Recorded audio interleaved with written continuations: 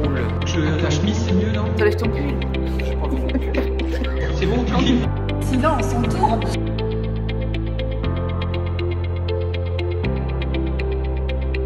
Quand je pense euh, au cerveau et à l'inconscient et au fait que d'aucuns euh, souhaiteraient rabattre l'inconscient sur le cerveau, donc faire disparaître euh, tout bonnement l'inconscient, je pense tout de suite à Descartes et à la difficulté qui a été la sienne lorsqu'il a tâché, d'une part, de rendre compte des conditions de possibilité de la science moderne, en considérant qu'il y avait la chose pensante d'un côté la chose étendue par ailleurs, et que, euh, au fond, le corps relevait de la chose étendue, tandis que l'esprit, l'âme, relevait de la chose connaissante.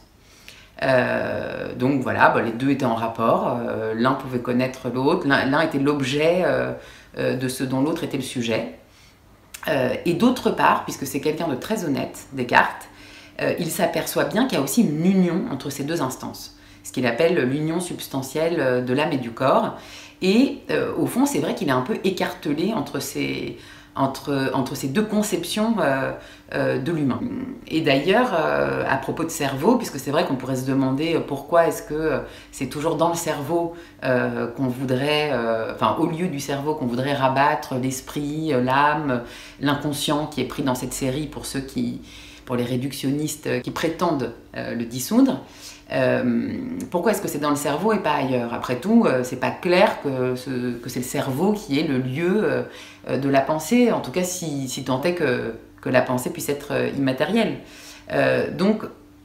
Pourquoi en ce lieu et c'est vrai que là encore, Descartes est un peu coupable, puisque quand il pense justement l'union de l'âme et du corps, il situe leur jonction ici, là, en bas du, crâne, en haut de la nuque, dans ce qu'il appelle la glande pinéale, glande pinéale euh, euh, dont Stanislas Dehaene fait grand cas euh, d'ailleurs. alors, lui, Lacan, il n'avait pas l'idée qu'il pensait avec son cerveau, il avait l'idée plutôt qu'il pensait avec ses pieds. Et il disait, la meilleure preuve que, je pense avec mes pieds, c'est que quand je pense, ils enflent. bon, on en pensera ce qu'on voudra. Moi, je, crois que c'est beaucoup plus convaincant que, l'idée de penser avec, avec son cerveau. Maintenant, quelle est la position de Lacan? D'abord, je dirais que euh, du point de vue où on se place euh, en tant que psychanalyste, quand on observe un peu les réductionnistes qui prétendent euh, réduire l'inconscient au cerveau, on ne peut que rejoindre ce que dit Fukuyama à propos de euh, justement de l'outil dont on dispose et dont on fait trop grand cas, à savoir, euh, il disait, quand on n'a qu'un marteau, tous les problèmes ressemblent à des clous.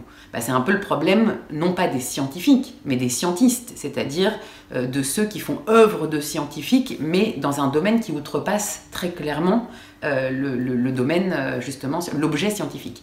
Eh bien, c'est un peu ça. Au fond, ils regardent avec un marteau euh, l'inconscient qui ne peut ressembler qu'à un clou, c'est-à-dire c'est plus du tout l'inconscient. Euh, on l'a complètement perdu à, force de vouloir euh, lui donner une forme de clou. Bon, alors quelle est la position de Lacan sur la chose? Est-ce qu'il a l'idée dans la veine de Descartes et de beaucoup d'autres avant lui et après lui que ce qui relèverait de l'inconscient, à l'instar de l'esprit, de l'âme, etc., serait purement immatériel Certainement pas, et il n'en a jamais eu l'idée. Dès, 1953, euh, il a l'idée, il le dit, que les mots qui touchent le corps sont corps eux-mêmes. Et c'est par leur corporéité, d'une certaine manière, qu'ils peuvent toucher au corps. Et puis, euh, au fil de son enseignement, il avancera jusqu'à considérer, au fond, enfin jusqu'à parler de matérialité.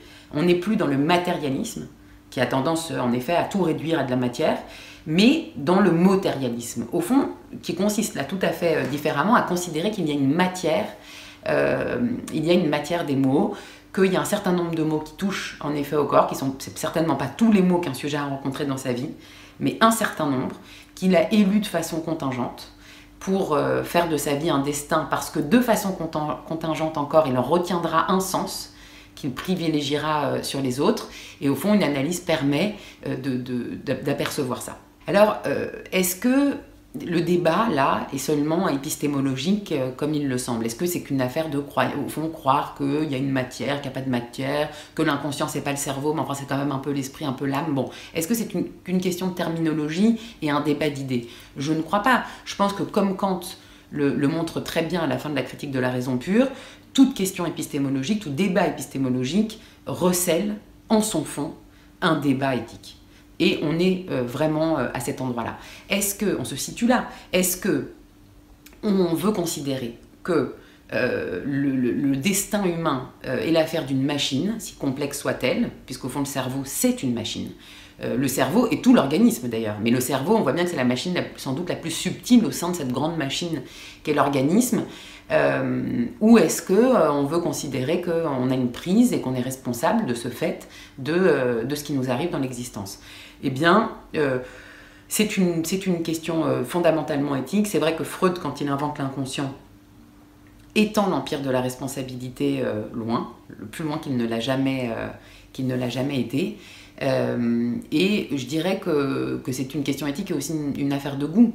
Mais pour ceux qui, qui s'y prêtent, et à qui ça plaît, euh, faire une analyse, ça peut aussi bien être le pied, ça fait pas de doute.